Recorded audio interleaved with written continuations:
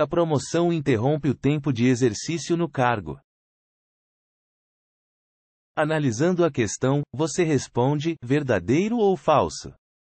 O gabarito é falso. Artigo 57. Os requisitos para o desenvolvimento do servidor na carreira, mediante promoção, serão estabelecidos nas leis que disciplinam cada categoria funcional e respectivos regulamentos. Parágrafo único. A promoção não interrompe o tempo de exercício no cargo.